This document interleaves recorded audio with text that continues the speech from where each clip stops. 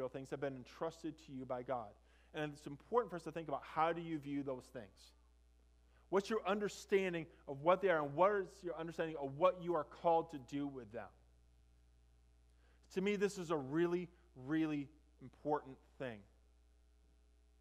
Because when you are entrusted with something that you understand fundamentally isn't yours, it changes things. Think about some of the parables that Jesus told when somebody like entrusts one of their workers or entrust a child with some of their possessions, some of their wealth, some of their inheritance, or some of their possessions, and trust them to use them wisely. You see that often it changes how this person views what they're going to do. It's like, hey, I want, I want to do right by whoever it is that gave this to me. Think of it this way like if, if you've ever been in a position where you are set to resume control, say, like of a trust or of money that has been designated for certain purposes, does it change how you view that? That do you think about, I want to make sure that we're honoring the intent of what this was given to me to do? That's a really, really big responsibility that you're given that you should think about is, am I honoring the intent for what this was set, set up to do? If you are responsible for a foundation, if you're responsible for an organization, do you think about, am I doing the best that I can do to carry on what this organization, what this mission, what this thing is all about? Because it makes a big, big difference in how we react and respond to things. Because what it does, it gets us thinking less about ourselves, gives us thinking more about others, and ultimately, it gives God to work in things. So let's just kind of think about this in some practical terms here for just a minute. When you think about the stuff that you have, when you think about the things that you possess, whatever it is, however much it is, it doesn't really matter. Do you view those things as not only for your provision to provide for your family, but also as an opportunity to bless others? Because here's the thing, and I want to be clear on this. It isn't bad to have things. It isn't bad to have a house or a car or a boat or any of those things. That's not bad and it's not wrong. But if our motivation is only to get stuff for ourselves and we miss the stewardship aspect of it, if we miss the opportunities that we have to bless others and to give to others, to support and to care for others, then we really are missing the intent of what those things were meant to do. So, how do you view the stuff they have? Do you think of it in that way? That not only can I provide for myself, for my family, for friends, but I can also then do this for others. I can bless others in this way. I can give to this organization. I can support this cause, whatever it is. Think a little bit about the gifts and the talents that you have. Do you view those as things to only use for yourself? Do you view those as things that are only there for your own gain, for your own recognition, for your own growth? Or do you see them in a way that you can use them for others. And we heard Pastor Rob talk about this a little bit to Hope and Kay this morning. He talked about some of the gifts that he's observed in them. He talked about some of the gifts and the talents that they have. And you heard him talk about this same principle. That it's not just about them. That it's how do you use these to influence others? How do you use these to care for others? How do you use these to love others? How do you use these gifts to point others towards Christ?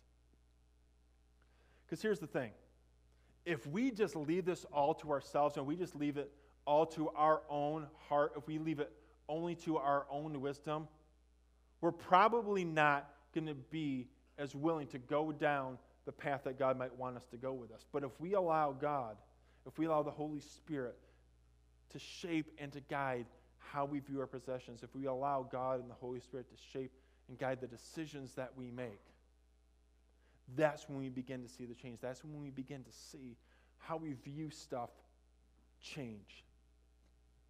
Because here's the thing did you notice kind of the catch in the story here?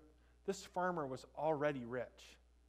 He didn't need more stuff, he already had it. And then when he was given more, instead of thinking, man, now I can just give incredibly generously. Now I can just go and I can take care of all the stuff. He didn't do that. He focused on himself. So for you, I want you to think about this. Because we all have an abundance of something. Now, you may be thinking, well, I, I, I don't have an abundance of possessions. Like, yeah, I, I have enough, I, I don't have a surplus. But you do have an abundance of something. Maybe you are rich in compassion. Maybe you're rich in hospitality. Maybe you're rich in encouragement or leadership or discernment. Maybe it is financially. Maybe it is in other ways. I want you to think about where are you rich? Where do you have abundance? Where do you see yourself having extra that God has given you? And then do you see and understand that that's not just for you? That is for God to use in you and through you to bless others. Because that's really what stewardship is about. It's about making the best use of the things that we have for the honor and glory of God and to be able to bless our friends, our family, and our community. But that takes work. It's not easy. It takes discipline and it takes discernment to know how to best do this. So I just want to encourage you with this this morning. How can you use what you have to bless people? I want you just to think what's one thing I can do today? What's one thing I can do with whatever it is that I have, whatever it is that I see myself having an abundance of? How can I do something today to bless somebody with that? And then just commit to do it. Be able to share it with somebody, share it with someone else in your family, share it with a friend, share it with a family member. Say, this is what I'm going to do. Here's something I want to do today. I'm going to sit down and I'm going to write a card to somebody. I'm going to make a phone call. I'm going to go and I'm going to stop by and I'm going to visit this person. I'm going to commit and I'm going to, I'm going to go and I'm going to serve on this board. I'm going, to, I'm going to commit to use my gifts and my talents to help bless this organization. I'm going to help support this financially. Whatever it might be, this is the life that God has called us. God has called us to view all the things that we have, that we are simply entrusted as. We're simply stewards of, the, of this. We're caretakers of this. To use everything that we have in the best way that we can to bring honor and glory to God. Would you pray with me? God, we thank you, God, that you, you desire to bless. God, you desire to work in and through our lives, God, to, to bless others. So, God, may we view all the things that we have as just simply things, God, that we have been entrusted with to use to bless others, to not only just provide for ourselves and our families, God, but to share your love and your grace with others, Lord. So, God, may you give us wisdom to know how to do that. God, may you give us courage to do that. God, may you give us an extra measure, God, of your spirit to know how you are calling us to be stewards of all that you've blessed us with, Lord, for your honor and your glory. We praise on the name of your Son, Jesus. Amen. Would you stand with me for a closing song?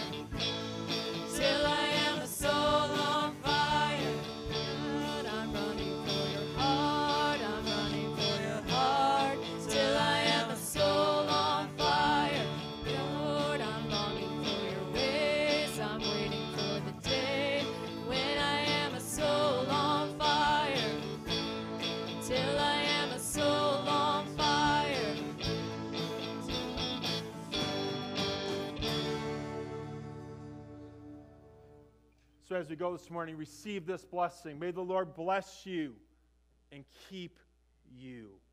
May the Lord make his face shine upon you. And may the Lord lift up his presence upon you and give you his peace. Amen. Go in peace.